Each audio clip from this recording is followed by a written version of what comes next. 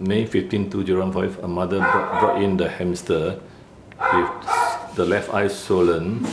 She tried to use eye drops, but it doesn't work.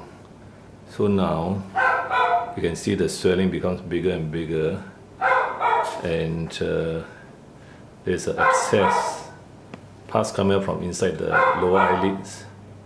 Pus, and uh, the only way to to treat this is surgery to lance abscess under anesthetic and uh, we will be doing it afterwards. So now we have a bit further. Let me see the angle. Mm. there's a big abscess. The eyes cannot open so left eye left eye right eye okay the right eye let me see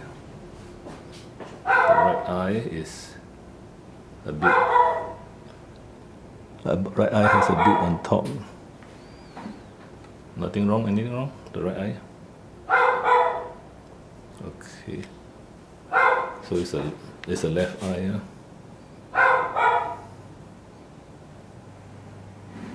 that one